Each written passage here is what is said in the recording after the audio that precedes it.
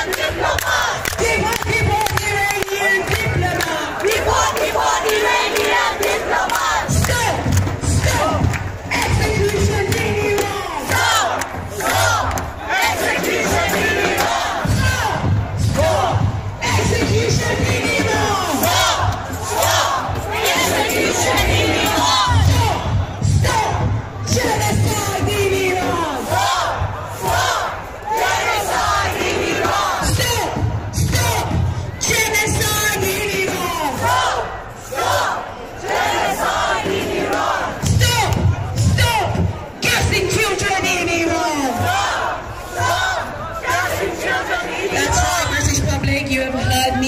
failing the Islamic Republic regime in Iran in the year 2023, gassing innocent school children as young as five years old while they...